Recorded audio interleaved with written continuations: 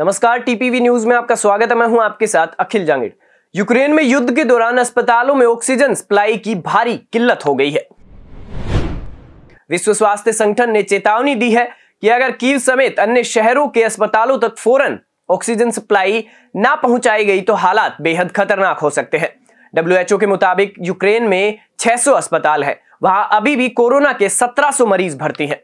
WHO ने अपने बयान में यह भी कहा है कि कोरोना मरीजों के अलावा यूक्रेन में नवजात शिशुओं, गर्भवती महिलाओं और बुज़ुर्गों को भी समय समय पर ऑक्सीजन की ज़रूरत पड़ सकती है। युद्ध के बीच लोगों की मनोदशा पर पड़ने वाले असर की वजह से भी हालात चिंताजनक हुए हैं। विषम हालातों के कारण वहाँ के सभी अस्पतालों में ऑक्सीजन लगभग खत्म हो चुकी है।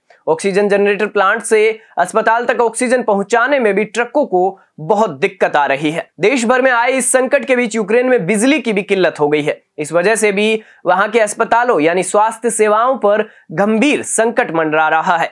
इसी तरह एंबुलेंस के ज़रिए मरीजों को एक स्थान से दूसरी जगह शिफ्ट करने के दौरान उन पर भी गोलीबारी का खतरा बढ़ गया है। ऐसी देश और दुनिया की तमाम खबरों को जानने के लिए देखते रहिए टीपीवी न्यूज़। नमस्कार।